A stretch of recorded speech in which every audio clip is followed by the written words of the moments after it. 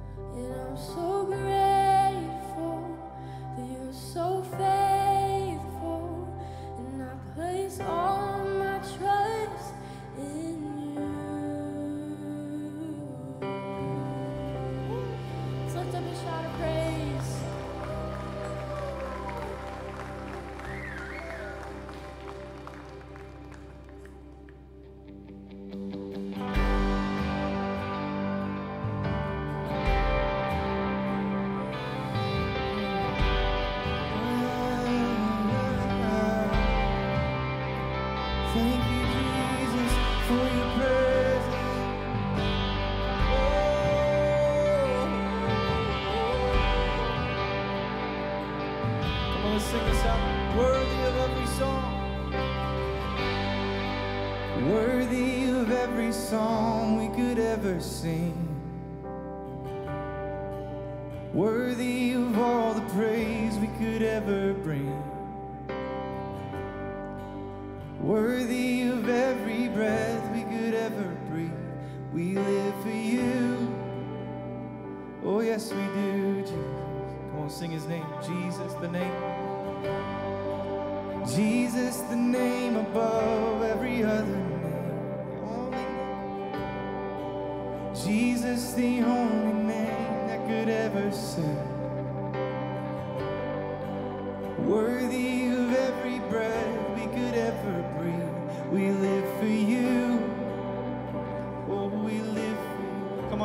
you to lift your hands and sing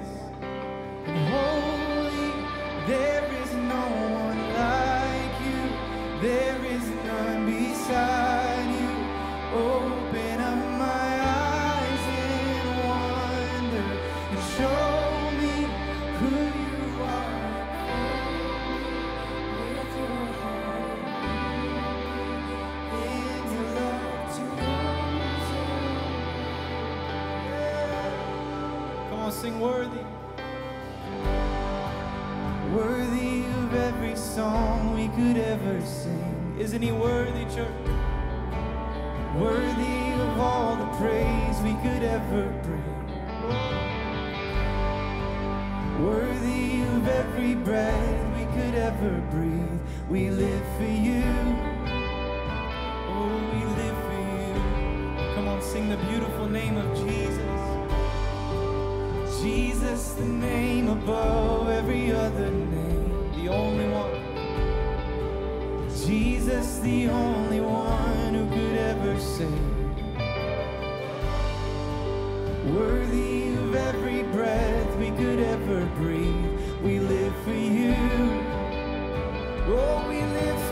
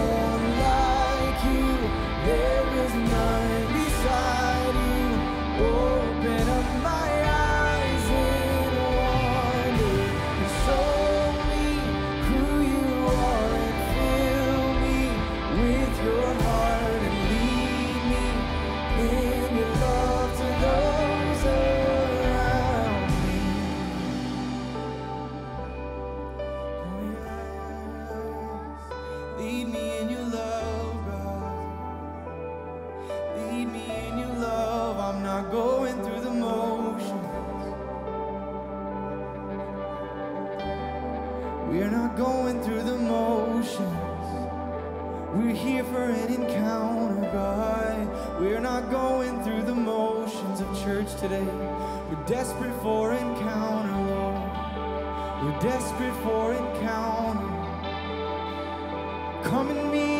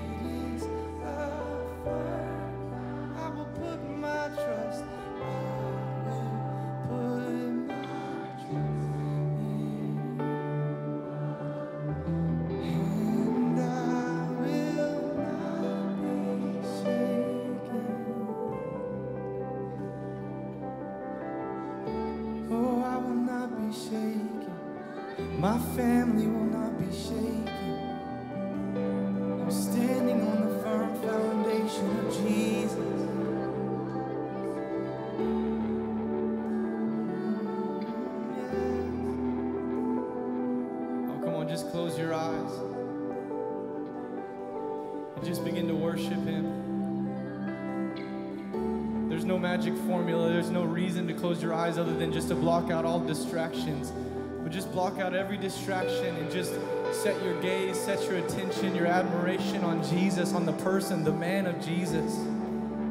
We magnify you, King of Kings, Lord of Lords, our hope, our strength, our source, our deliverer, our comfort. There's no one higher, no one stronger, no one greater than you. Be high and lifted up in this house. Be exalted in our worship.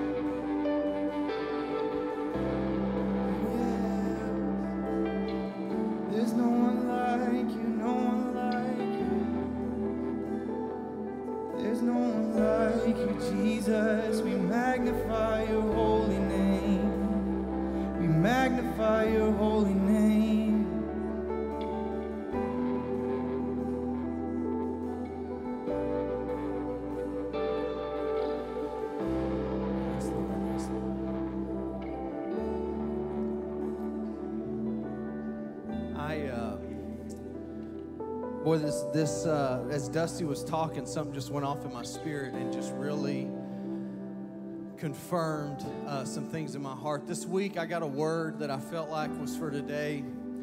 And uh, a lot of the times, the way that I will talk to God is I'll say, hey, if, if, if that's a word for this Sunday, just keep it on my heart and keep it on my heart and keep it on my heart.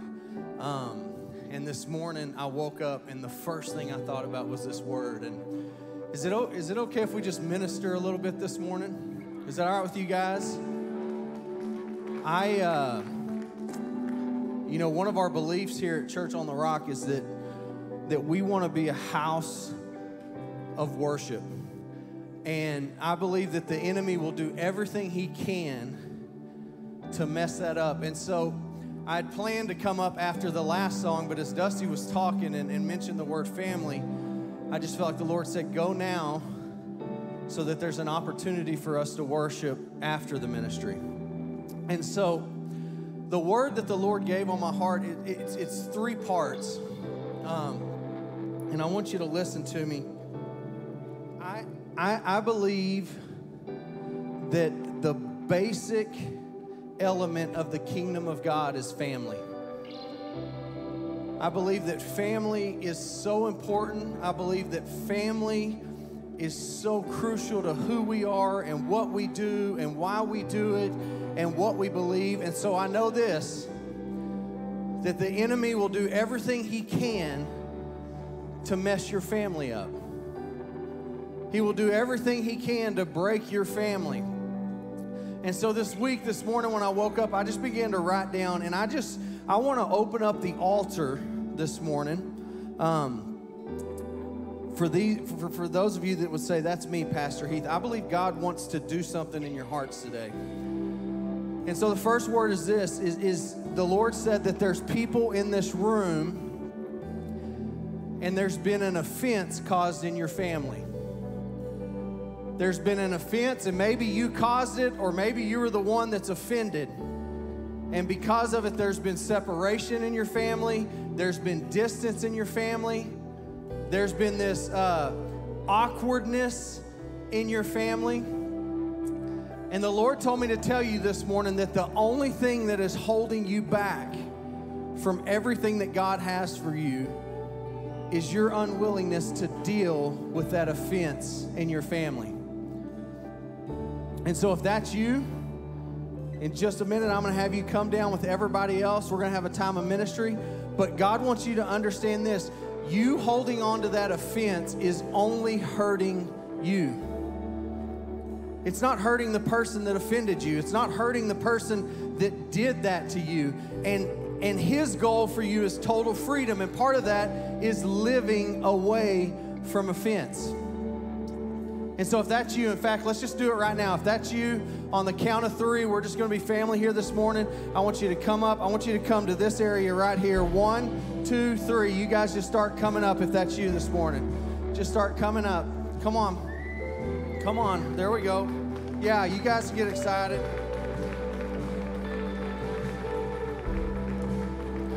Sorry, I want to make sure I, I say this right. You guys just kind of group up right here. It's all right, keep coming. The second word was this is you are in a season where you are grieving over your family. It may be because uh, of a lost loved one, it may be because of something that happened, but there's a spirit of grief in you over, over family. If that's you, come on up. One, two, three. Just come on up, come on up, come on up, come on up. And then the third word that God gave me is this is that there's people in this room, and your earthly father has created a, a, a spirit of inadequacy in you.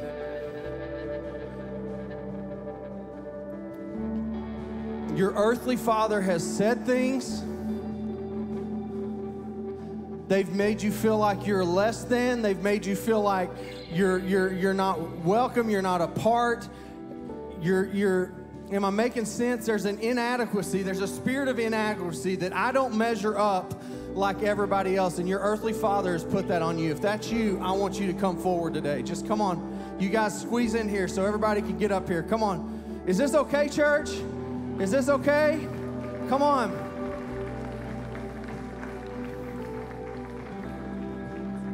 The Lord made it very clear to me a few months ago that in this season we were supposed to take time and minister because these are the things that are holding us back to what God has. And so here's what we're going to do. Uh, Pastor Jackie, I'm going to ask you to come up here. I, I believe I believe that there's so much power in what a father speaks over you. And can, can I just tell you this that your earthly father does not create value in you, only your heavenly father does?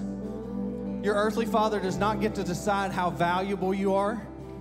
Your earthly father does not need to decide what you do and what you don't do. Now, listen, I'm not saying don't honor your father. What I'm saying is the only one that puts value on you is the one that created you, the one that has a purpose for you, the one that has a plan for you. And so here's what we're gonna do. This is this is the spiritual father of our house. He didn't even know I'm asking him to come up here, but that's okay. I, I just believe that as he speaks over this group up here today, that a healing and a fresh anointing is to fall over you as if the Heavenly Father was speaking over you this morning. And so, if you're out there behind them, would you just extend your hands to this group right here? Come on, let's pray this morning. Why don't you just take your hands and open them up to the Lord right now? I believe the Holy Spirit is here in this place. I believe He's about to make a deposit into your life. Father, in the name of Jesus, I come and I pray for every one of these children. And that's what we are. We're all just children. We're, we're all we're all needy. We're, we're, we're all immature. And as children, we come to you and we say, Lord, would you please pour your spirit out upon us? Nothing can heal us but the spirit of the Lord. We can talk about it all day long. Talk doesn't bring healing, your spirit is what heals. Release your Holy Spirit upon us right now. Father, we choose to forgive. We choose to let go of the offense. We choose to, to give honor, even when honor was not given to us. We choose to do what's right so we can receive everything you have for us. So, Father, right now I declare healing, healing in the name of Jesus. Healing, healing from all the hurt, healing from all the separation, healing from all the bitterness, healing from even anger and hatred, healing today in the name of Jesus. And Father, I declare, I speak the word over every person in this room today that, Father, we're enough because we have you. We are enough. Everybody just open your mouth and, and tell the Lord you understand. Just say, I am enough. I am enough. Jesus makes you enough. You don't have to be anything other than what He made you to be. Father, release that spirit of being enough right now. In Jesus' name, amen and amen. Come on, give God a clap offering of praise.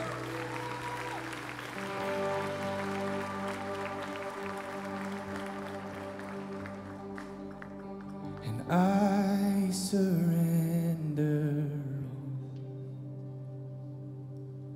I surrender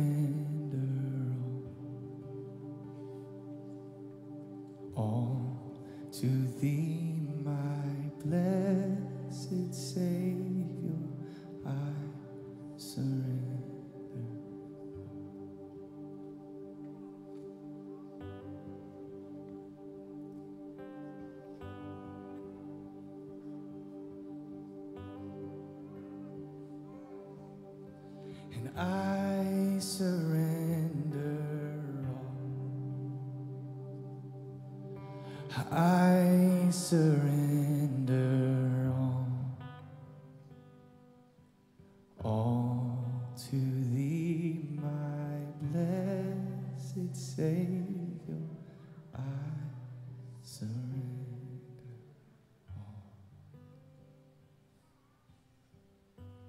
all All the hurt, all the disappointment, all the frustration, Jesus.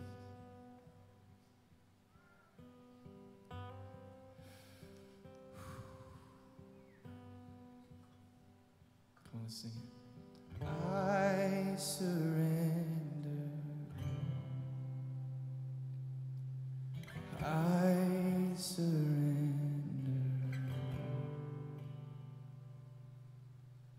all to thee, my blessed Savior, I surrender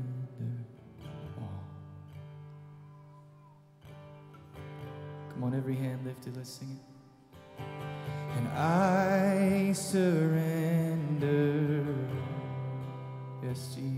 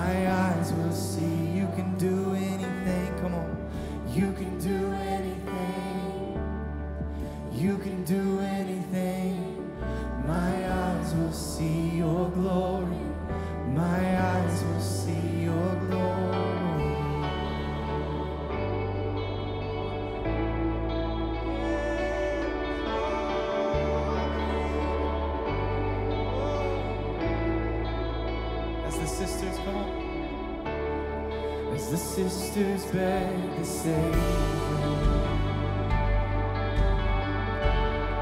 Come to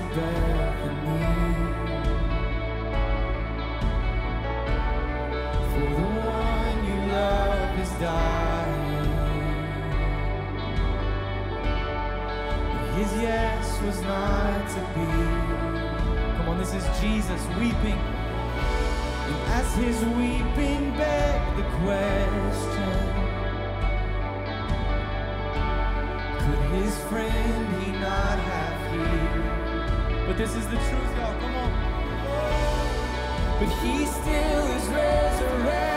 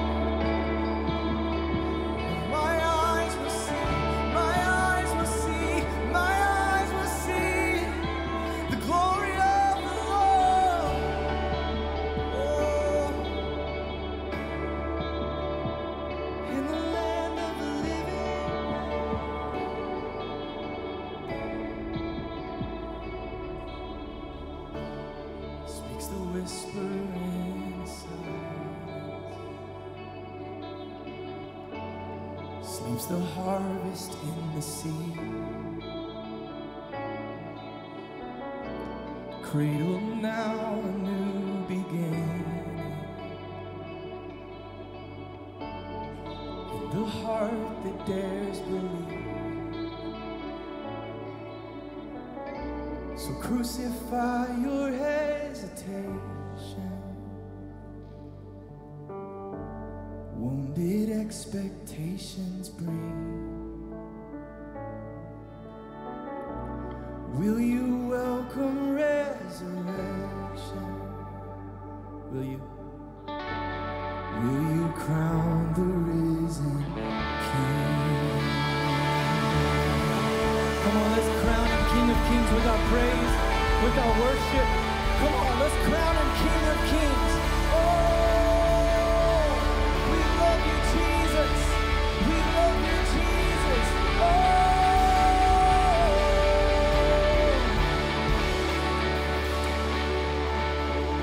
Jesus, we love you. We honor you. We magnify you. I pray for the one, the two, the ten, the hundred in the room that have given up. Just like just like Lazarus' sisters, you had died, he had died. And they said, Where were you? Where were you? If you would have been here earlier, he wouldn't be dead right now. I pray for that one, that two, that ten. Say, Where were you, Jesus? Where are you, Jesus? Where, if you would have been there, if you would have been there, this wouldn't have happened. I declare that in this house we welcome resurrection. That we know as, lo- as, as, as long as you're on the scene, miracles are possible. And we welcome the resurrection and we crown you King of Kings and Lord of Lords. Let's, let's lift up one more shout of praise. Come on, He's worthy of it. He's worthy of it. That's my encouragement to you this morning. Don't give up. I know you're disappointed. I know you're frustrated. But don't give up. He's on the way, okay? He's on the way. He's gonna he can redeem any situation, any circumstance. It's an honor to be in his presence with you this morning. I want you to do something for me real quick. I just want you to take the next few seconds and welcome the people around you. Give them a big old high five, a hug, an encouraging word. We're so glad that you're here this morning, y'all.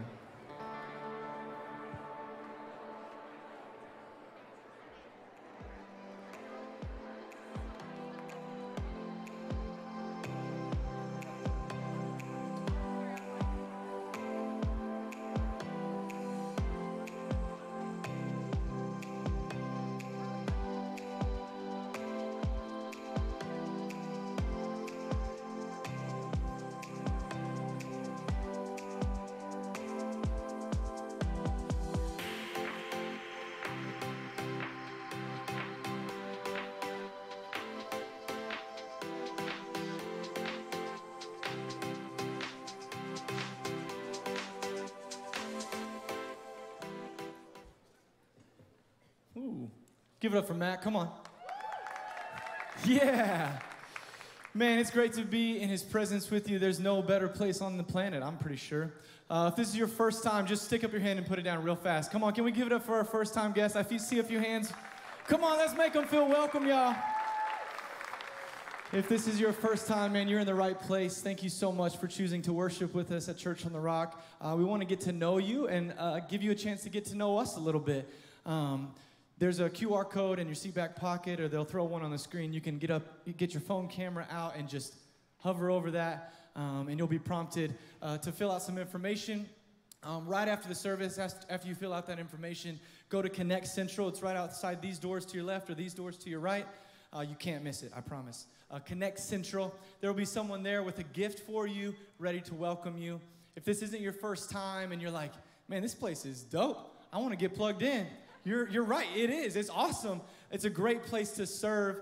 Um, and so if you want to serve, there's a million places, a million amazing serving ministries kids ministry, AVL, worship, greeting team, uh, connect team is what they call it, um, and so many, so many more. Uh, so make sure you get off the bench and get in the game, right? Get off the bench and get in the game. Uh, because God is up to something big.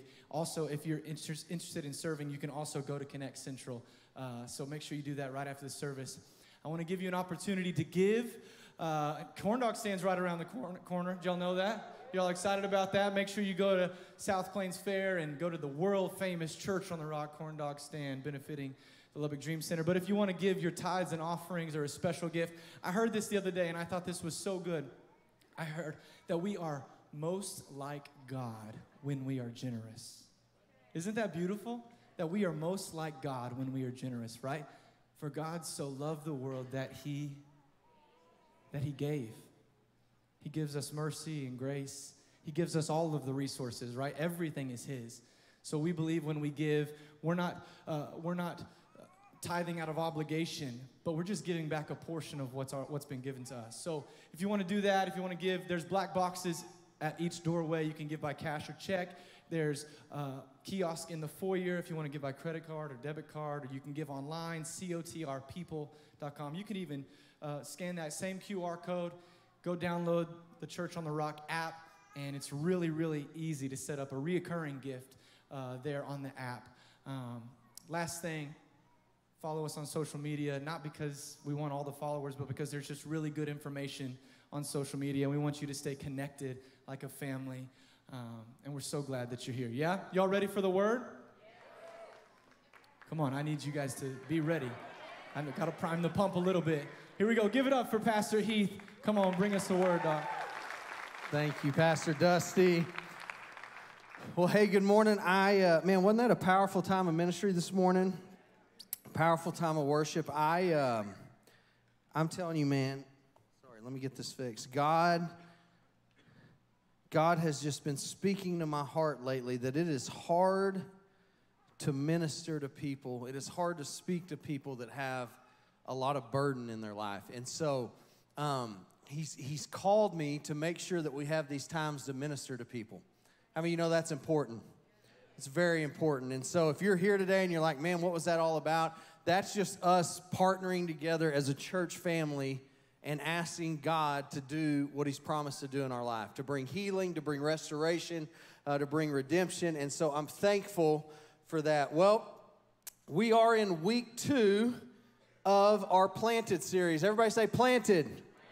Say, I am planted, not potted. I hope so. Amen. I, uh, I am planted as a Red Raider fan. I'm not potted.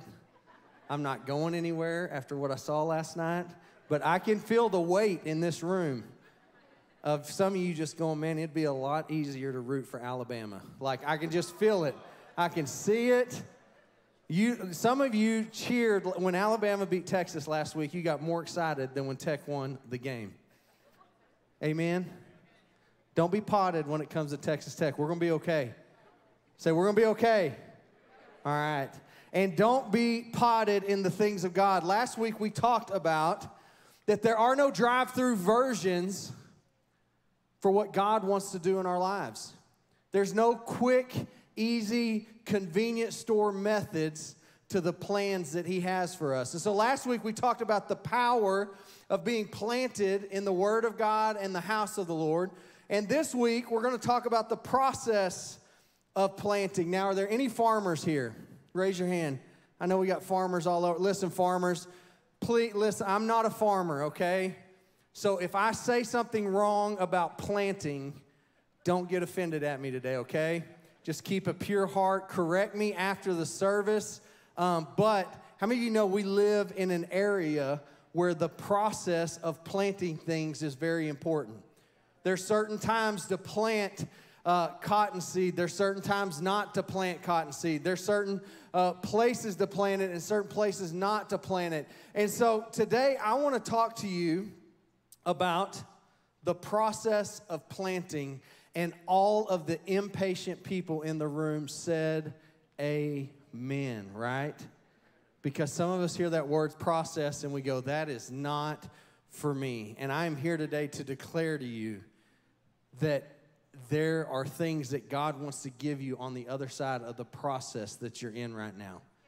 There are things that He's doing in you to prepare for you what He has for you after this process.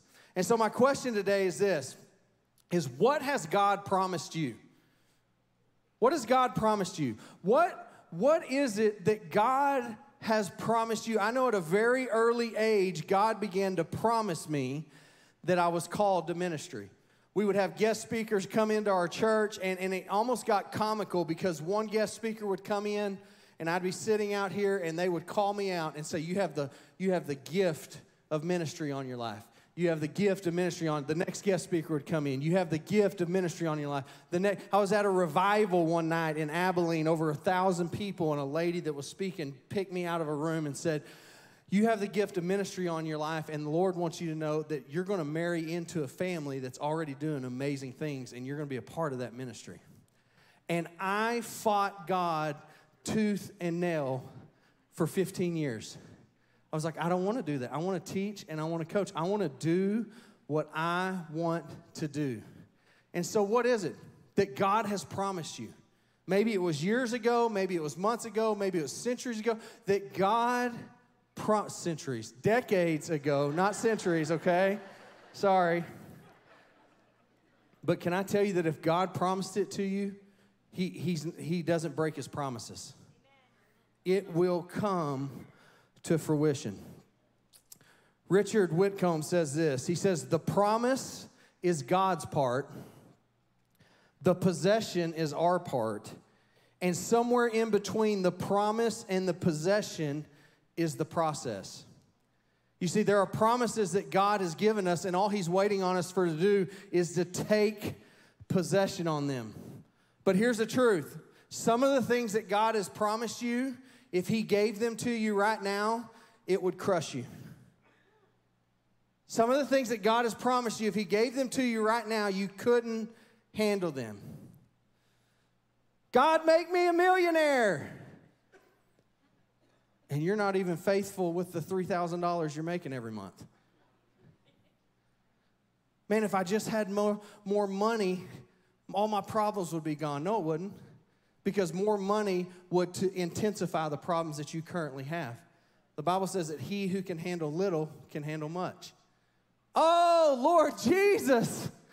Glory, all my friends are getting married. Just give me a husband.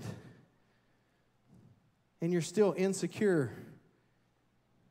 And, and, and, God's going, man, if I gave you that right now, it wouldn't work because you haven't gone through the process. And this isn't one of those words that, look, today, let me just tell you, this is more of a teaching than a preaching. This isn't one of those words that you walk out of this room going, woo, glory to God, I'm fired up. But can I tell you, it's a part of the life that we live. Young people, listen to me. I get to, listen on Tuesday night. I get to speak to our young adults here at Church on the Rock. Yeah, I, am I'm, i have got my young young attire already picked out. I've got you these these are these are like an athletic skinny jean, okay? I'm real I'm wearing the real skinnies on Tuesday, all right? It's to be good. It's to be good, all right? But young people, listen to me. My, my major regret in life, I actually got asked this this week. Uh, I was meeting with a bunch of pastors, and my main regret in life is that I didn't flourish in the process. I whined and cried and pouted and manipulated and tried to make it my way and tried to hurry it up and tried to speed things up. And can I tell you that everything that's happened in my life that was a promise of God happened in His perfect timing for my life? Like, like if He would have gave me that years ago, it wouldn't be good. And so as we talk about the process of planting, here's the first thing you need to know that if you're going to plant something, you need what? Seed. Everybody say seed. God's promise is like seed. You say, I, I don't want seed. I, I want God's promise to be like the harvest. I want it to be like the harvest, and yet God's promise is like seed. In fact, the Word of God says this in Exodus. It, it says, uh, that the, the Israelites are upset at God. They're upset in the process they're in, and they're talking and they're speaking and they're saying, God, we're hungry. We're hungry. And God says, okay, next, tomorrow morning when you wake up, there'll be bread waiting on you. How many of you know that's a good God? It's a good God that there will be bread waiting on you. And the Bible says this if they woke up the next morning, Exodus 16 says this when the Israelites saw it on the floor, talking about the bread, they said to each other, What is it? And the reason they asked this is because in Exodus 16 31, it says this it says, The people of Israel called the bread manna. It was like coriander seed and tasted like wafers. Now, I don't know about you, but there is only one restaurant that I go to in town when I want the bread. Does anybody know what restaurant I'm talking about? Whew. Texas Roadhouse. All right? I don't know what they put in that cinnamon butter, but it needs to be checked for illegal things in it. That's the bread that I like. Somebody recently gave us a gift card to Texas Roadhouse, and I was like, great, we can go and we can order something, but we can get the free bread. And yet it said the Israelites woke up and it looked like a bunch of seed, like stuck together. And part of the meaning of the word manna is exactly what they said. What is this? Like, what? What is this? This is not what we were expecting. Has God ever promised you something and you go, What is this? This was not what I was expecting. And yet the Bible goes on to say that it provided the nourishment they needed in the season that they were in. The Bible in the New Testament says things like the kingdom of God is like seed and it's spread on the hard soil, the rocky soil.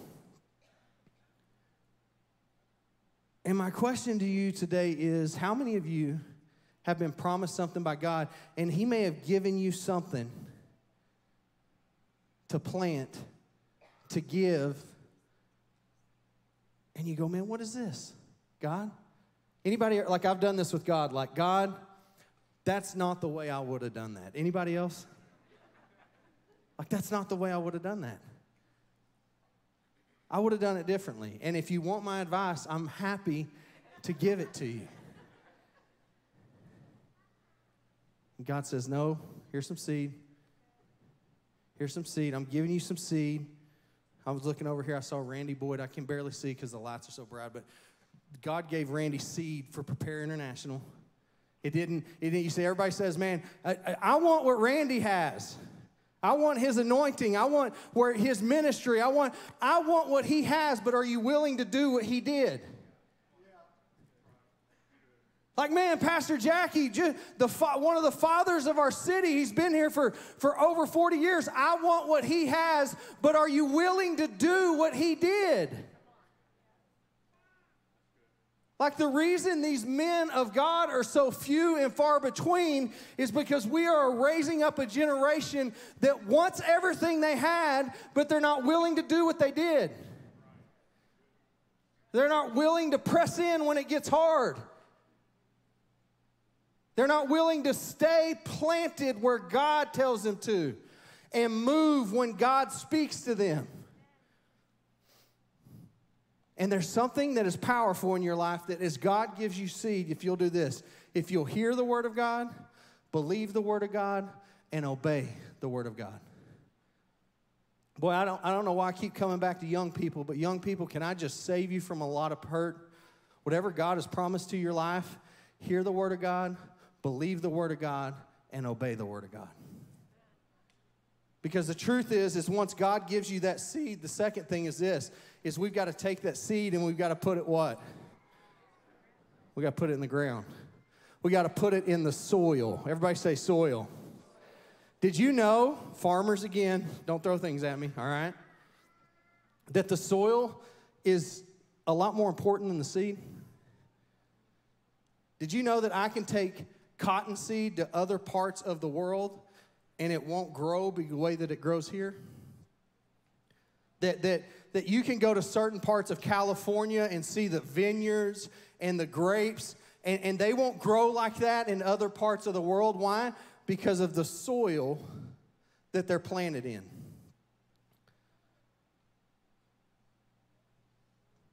I, I, I, I talked about this a little week last week. My wife told me to come on and make a public announcement, a public apology. Last week I said that fake plants die in our house.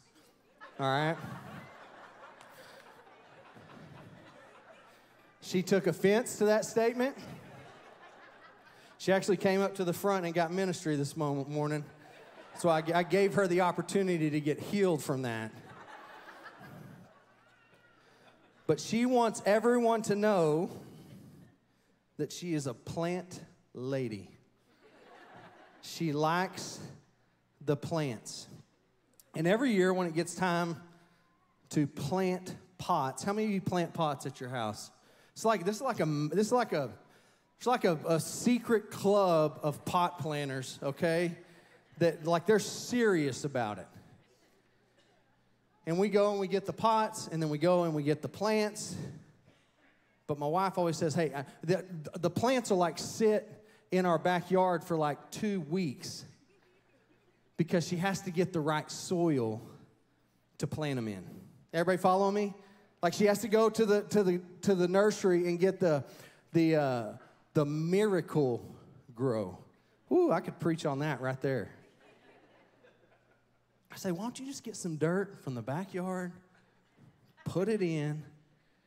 She said, no, we got to have the Miracle-Gro because that gives the plant, that gives the seed the best chance to grow. And so I started thinking about this week and I wrote down a few things that I believe when God gives you a promise, when God gives you a seed, that there are certain things you should plant those seeds in. And again, this is not a woohoo, God is good moment, but this is truth. And you need to know this. The first one is this is you need to plant God's promises in intimacy with God. You need to plant it in intimacy with God. Here's the truth roots grow in private, not public. Some of us have taken our seed and gone, Ooh, Gilbert, Look at it. Look what God's promised me. Look, Gilbert, look at it. Don't ignore me. You look at this.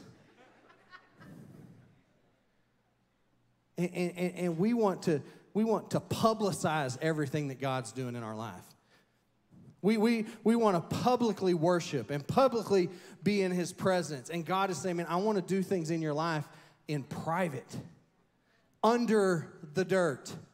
The scripture actually says it in Matthew 6. It says, But you, when you pray, go into your room, and when you have shut your door, pray to your Father who is in the secret place. The first reason we need intimacy with God, the first reason we need a secret place is because the Bible says that God will meet you there when you're in that secret place. It says, And your Father who sees in secret will reward you openly. I talked about uh, Pastor Jackie and, and, and, Pastor Randy back here and all they've done for the kingdom of God. Can I tell you, God didn't develop them on the stage? God didn't develop them up here in front of everybody with the light. God developed them in the secret places. God says, hey, man, quit, quit trying to build a public platform and get in private with me. Get in a place. I've talked to you guys before about my office. Man, I go in my office, and can I tell you, it's okay to get in private with God and say, God, I don't have a clue what I'm doing right now. God, I need you. And the Bible says that wherever your secret place is, wherever it is that you meet with God, He will be there. You see, David, we find out very early on that David gets a seed from God, he gets a promise from God. The Bible says, You're going to be the next king. And as pastors, we love to say this. We love to say, and as soon as David got his anointing, as soon as he got his promise, he went right back to the field. He went right back to working and tending the sheep. But you know what we don't say? Is the field was David's secret place. You see, maybe David didn't get his anointing and go right back to the field to tend to the sheep. Maybe he got his promise and went back to the field to meet with God. Because things were coming. King Saul was coming, Goliath was coming. And in all of those situations. You see David deal with Saul, and King Saul is trying to kill him. And no matter how hard King Saul tries, David honors him and says, I won't harm you, and says, I won't hurt you. You see him defeat the, the you just see him defeat Goliath. And what you are seeing is a public response that was formed in private. Boy, that's good right there. Some of you, some of you don't, aren't developed in private and it shows in public. Some of you aren't developed in the private place and it shows in your posting. Woo. See, I did, I shouldn't have said that. I'm sorry. I apologize. But can I just encourage you this morning, church, that you need a, you need a secret place with God? You need a place where you just sit and talk and listen because you'll find out how God wants to grow that anointing in your life. The second thing is this is you need to plant your seed in worship. I, I told you when I came up here during worship this morning, my heart has been burdened that we as a church are not taking advantage of the opportunities we have to worship God. We, we, we, we say, man, I just, I don't know after this week if I have much to worship about.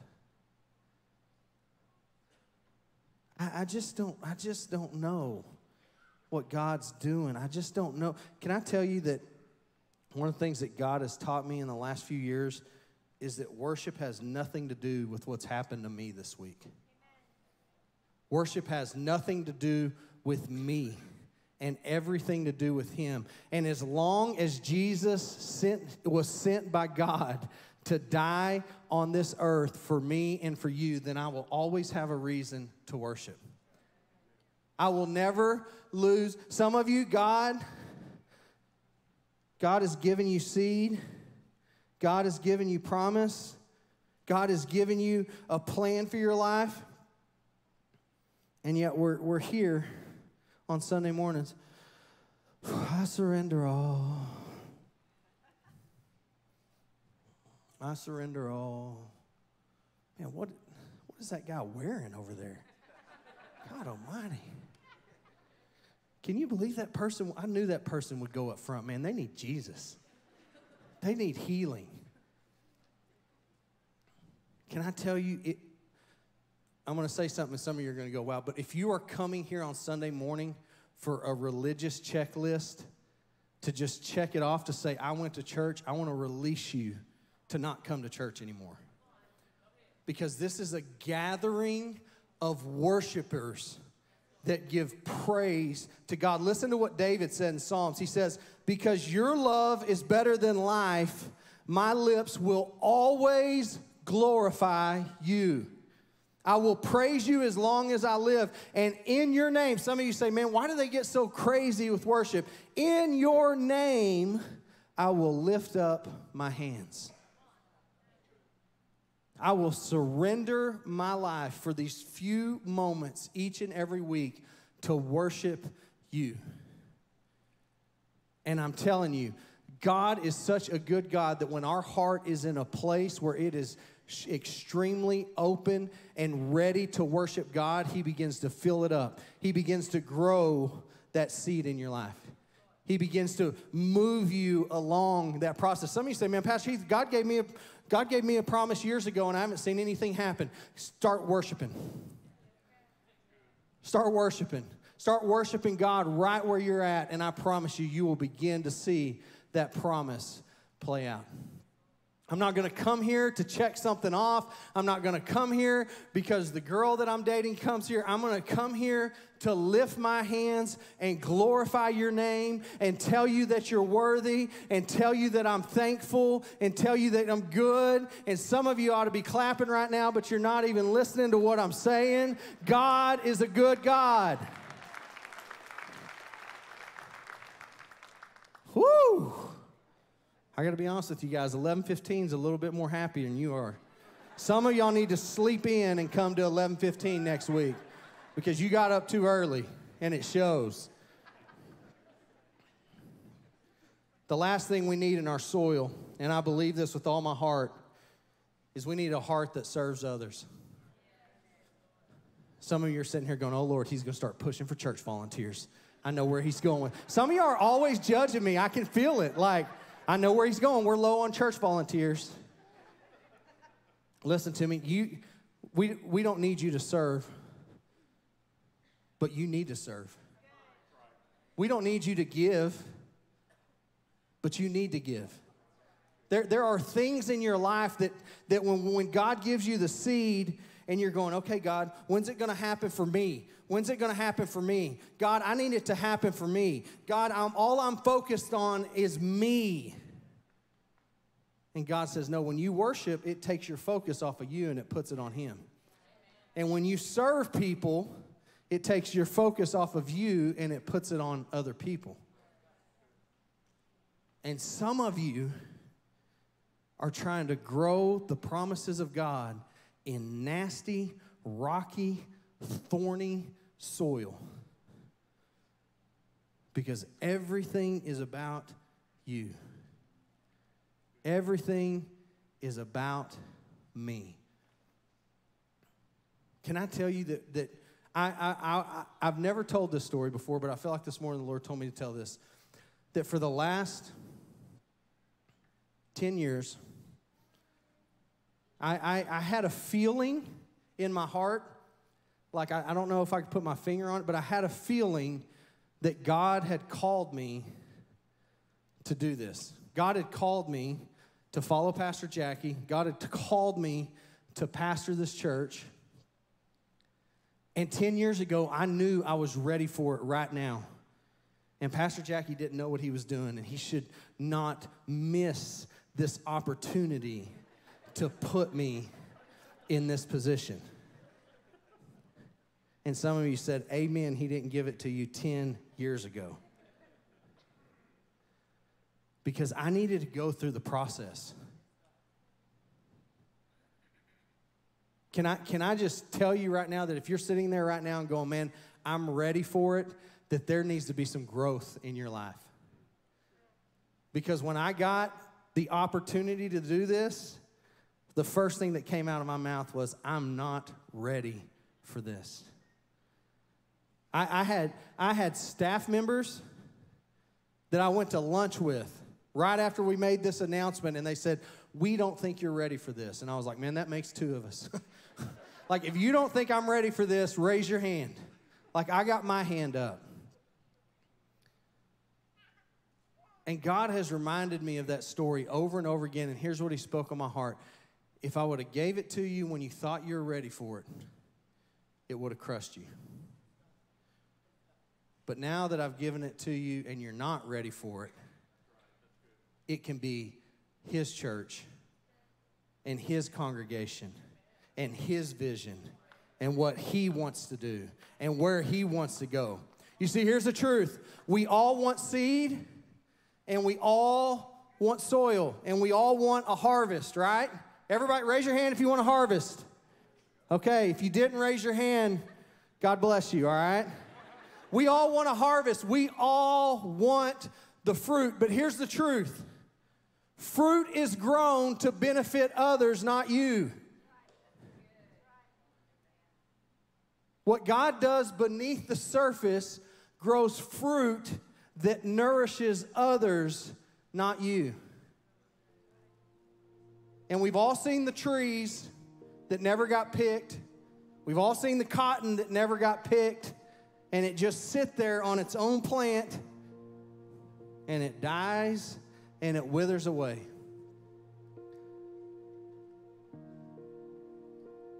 And boy, I, I don't know about you, but I believe with all my heart. I know with all my heart. I was looking around earlier and I saw Austin. Again, I can barely see because a lot. Austin, can I tell you that some of the seed that God's given you right now, it's not for right now.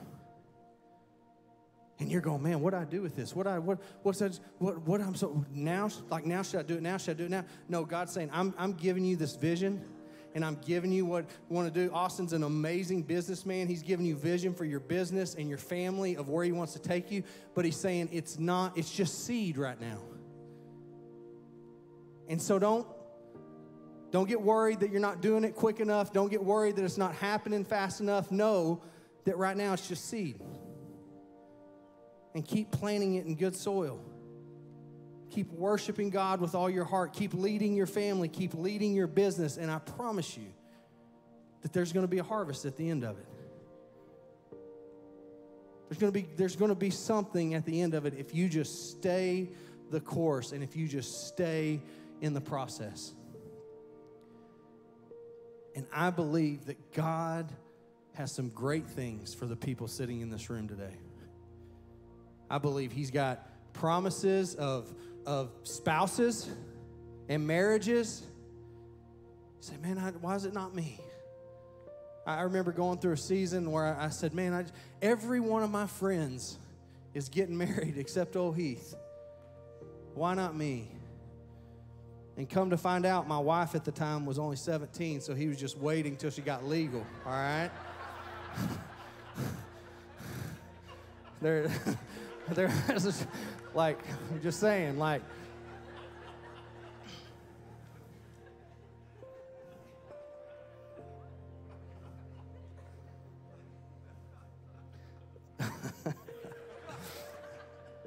but he's also making me the man that I needed to be to lead this family.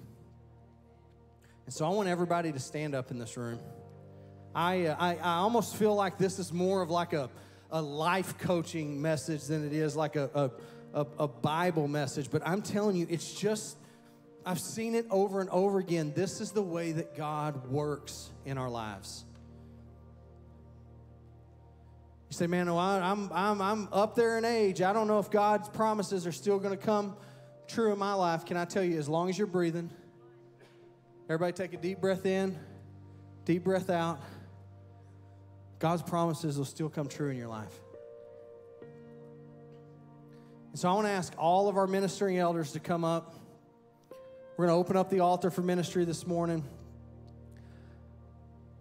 I, I, I, believe God has some of you in the middle of the process. And as I was praying this morning, He put this word on my heart.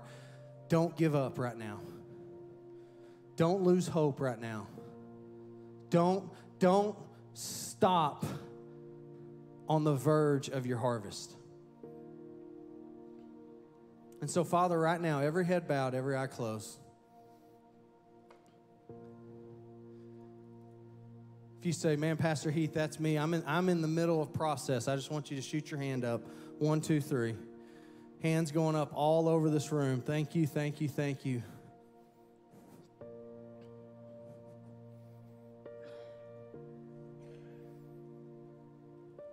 Father, for every hand that's lifted up, Father, give them a renewed hope Father, I declare in this room that promises you gave 8, 10, 15, 20 years ago, Father, that they will still come to fruition in our lives. Father, if they're in this room today and they've lost hope, Father, remind them of what your word says. That even as we pray, eh, even as you taught us to pray, you taught us, even if I'm in the valley of the shadow, even if it's not going the way that I wanted to, I will still glorify your name. I will still worship you, Father.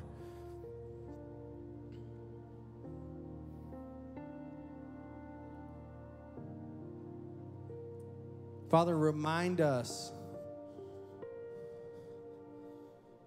that while you, you give us the seed, Father, you give us the promise, the possession is our part.